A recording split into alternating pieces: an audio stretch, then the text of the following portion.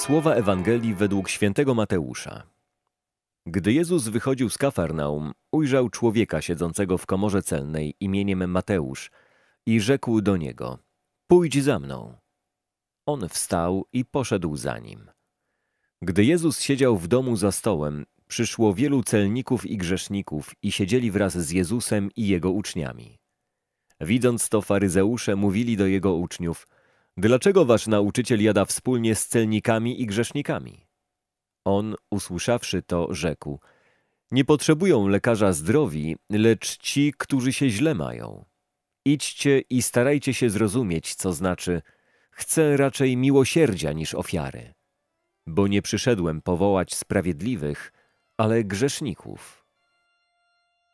Jezus nie stronił od ludzi poranionych, ułomnych, grzesznych, a nawet opętanych.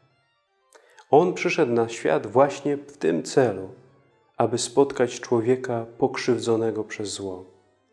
Chrystus szuka ludzi słabych, chorych i grzesznych, bo chce się nad nimi ulitować i otoczyć ich swoją miłością.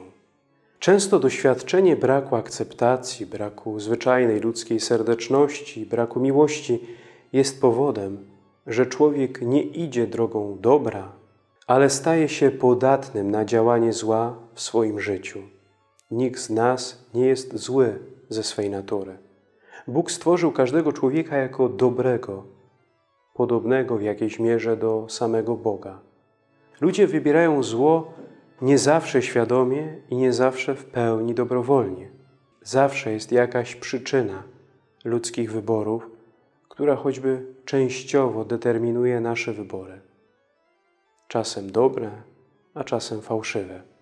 Bóg rozumie o wiele lepiej mechanizmy działające w nas.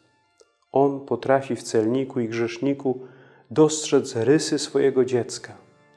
Bóg nigdy nie ocenia z pozorów, tak jak nam się to często zdarza. On patrzy w głębie człowieka. Potrafi pomimo zewnętrznej otoczki grzesznego brudu dostrzec piękno człowieka, jego prawdziwą naturę, powołaną do przebóstwienia, a nie do upodlenia. Pozwólmy Bogu działać w nas i w innych ludziach.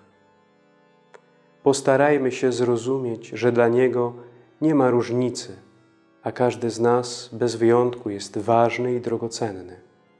Uczmy się od Jezusa dostrzegać w innych naszych braci i siostry. Uczmy się od Boga bycia bardziej ludzkimi dla siebie nawzajem.